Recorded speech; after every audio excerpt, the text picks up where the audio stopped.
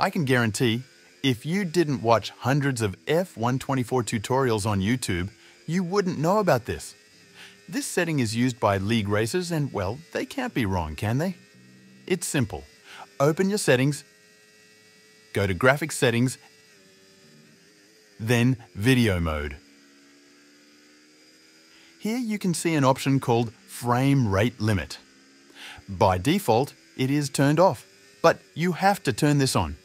This might seem counterintuitive initially because you are limiting yourself to a maximum frame rate, but trust me, this helps you achieve a faster lap time. Just below, there is another option called Maximum FPS. Set this to 60 or 65. What these settings do is it limits the maximum FPS to 60. You could save up to 2 to 3 tenths just by turning this setting on. Sure, you would lose the frame rate, but you will gain a lot of performance. This is the meta.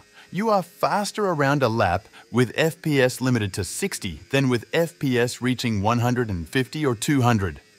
It's one of those settings through which you could easily gain time on your opponents just by clicking a button.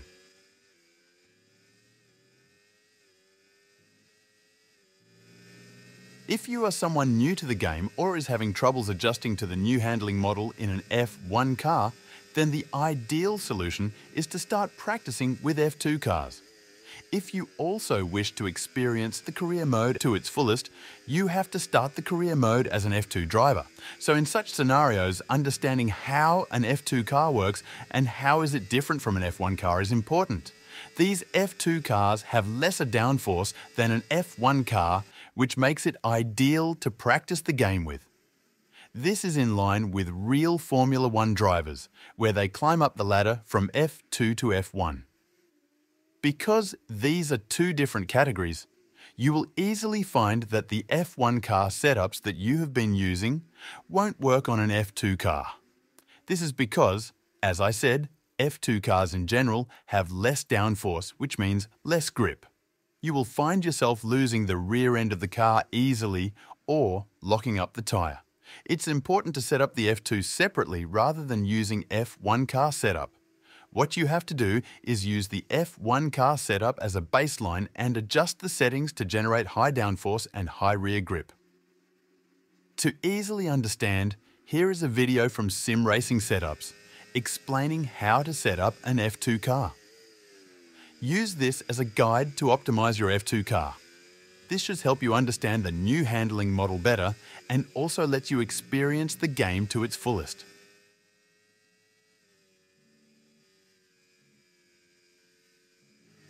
Different ERS modes determine how you deploy energy during a race. Codemasters has updated the ERS model for this year's game, which means now you can toggle around different ERS mode during a race just like in a real F1 car. There are four modes to be precise, none, medium, hot lap and overtake mode. It's important to understand when to use these modes during a race because if you don't, you will lose big time. I won't go into detail explaining how to use these because there are already many videos on YouTube. You can watch Jarno Opmeer's video on how to maximize your ERS performance. It's a detailed video on how to use ERS during both qualifying and race. So, check it out.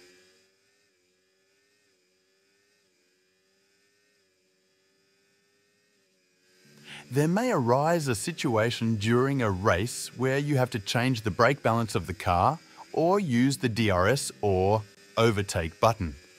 It's important to configure these settings to a specific button on your steering wheel, just like a real F1 driver. You could always run with the default setup, but it's not convenient. There are three settings you should configure to a specific button on your steering wheel for better racecraft. These are brake balance, differential, and all-important ERS. In my G29, I have configured the ERS button to this left and right button to easily change the ERS mode. This will be the most used of the three, so make sure to place it in a convenient location. The second is the brake balance. The G29 has these plus and minus buttons, and I have set the brake balance to these buttons. Plus to increase the brake balance and minus to decrease the brake balance. The third is the differential. You normally use this the least of these three, but you might need it with changing grip conditions. The G29 comes with a rotary knob, and this works perfectly for adjusting differential. Some other important button includes your overtake button, pit limiter, and the DRS button. Configure these to different buttons on your steering wheel for improved racecraft.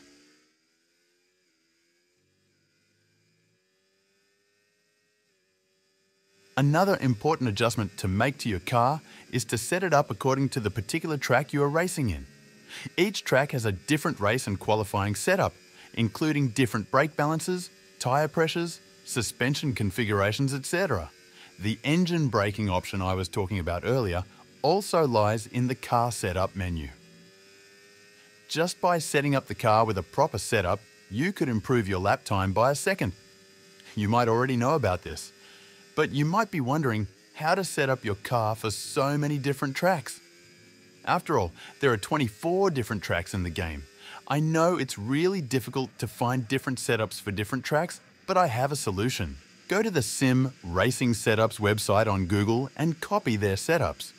You can find dedicated setups for a particular track on their website as well as on their YouTube page. Use these setups as a baseline and adjust them according to your needs. Just letting you know, I am not promoting them. They did not pay me anything to talk about them. I use their setup personally and I feel they deliver high quality setups.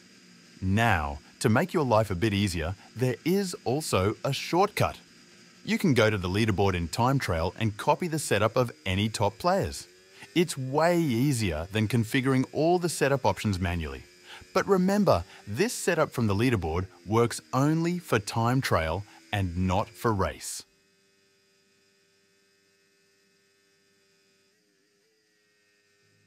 Let's talk about race starts. How do you get the best launch off the racing line? It's easy with traction control turned on, but with traction control off, it is really difficult to get off the racing line without optimizing revs and managing wheel spin. You can't floor the throttle and get off the racing line with traction control turned off. You might notice there might be a loss of rear grip and a lot of wheel spin, and you will just hit the wall when the lights turn green. So how to optimize the race start? To get a good launch off the racing line, hold the throttle at around 11,500 RPM and as soon as the light turns green, lift the throttle a bit and reach around 8,000 to 9,000 RPM to manage wheel spin, upshift to third gear and then hit the overtake button for some extra boost. The key here is to manage the wheel spin you get without traction control by lifting off the throttle as the lights turn green.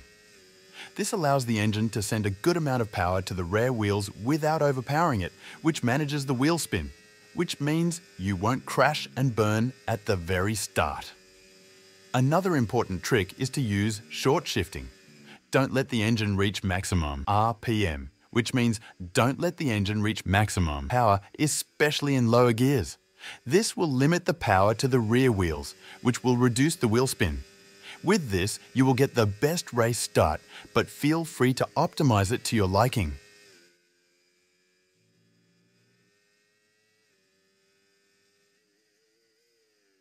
Trail braking in an F1 car is an advanced technique where you apply the brakes not just before entering a corner, but continue to apply light braking pressure even as you start to turn the wheel.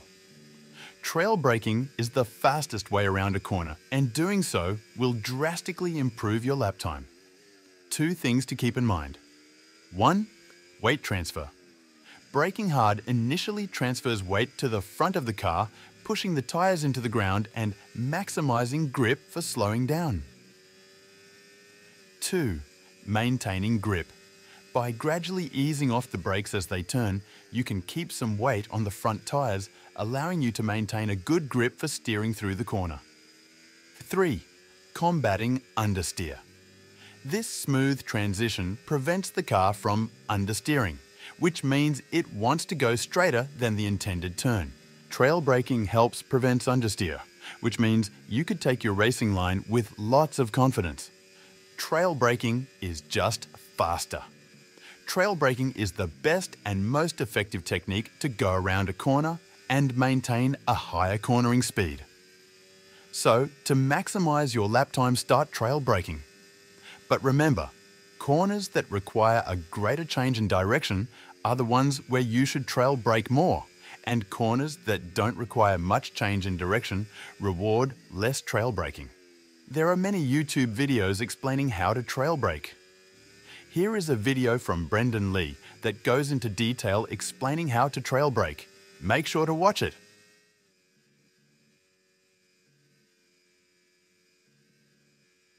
With the overhaul to this year's game, the developers have pushed the game into being a bit more realistic. And that means changes to how the tyre performs with changing inputs.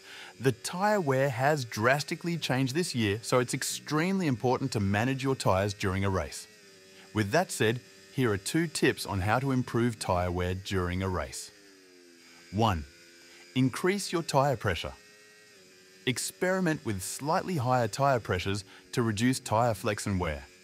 This is because higher pressure makes the tyre carcass stiffer, reducing the amount it deflects under load. However, there's a trade-off. A tyre with too much pressure will have a smaller contact patch with the track, reducing grip. So make sure to set the tyre pressure according to the track. 2. Reduce slip angles. This refers to the angle between the direction the tyre is pointing and the direction it's actually travelling. A smaller slip angle means less scrubbing and wear. Take smooth lines through corners and avoid excessive steering angles. Minimise lockups. Smoothness is key. Avoid harsh braking, acceleration and steering inputs. Aim for smooth, controlled movements to minimise tyre wear. With this, you should see a huge improvement in your tyre wear during a Grand Prix.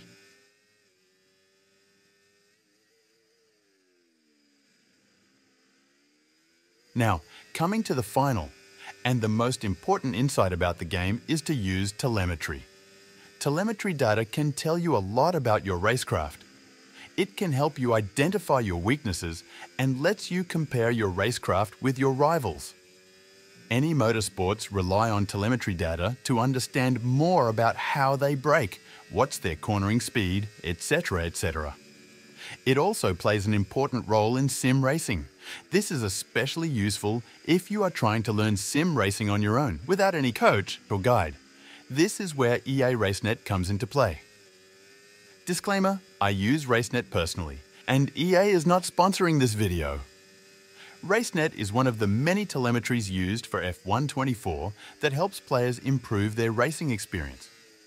RaceNet comes officially from EA, so you have to log into their website or download their app through Play Store or App Store and log in with the same account as your F124 game. Once you log in, this is how it looks. The best feature about this is it allows you to compare yourself with other players and lets you analyse what you are doing wrong. RaceNet is an easy way to understand your racecraft, even though it doesn't provide you with all the details. Here is a video from the Sim Racing Setups YouTube channel that goes into details on how to use RaceNet. Give it a try and let me know in the comments if you need a detailed guide on how to use RaceNet.